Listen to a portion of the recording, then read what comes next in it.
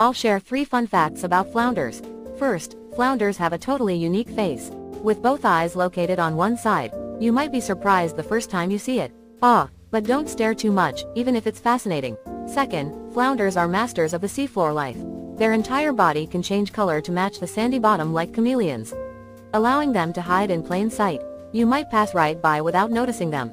But let's keep the hide and seek to this level, shall we, flounder? Lastly, flounders are a fresh delicacy.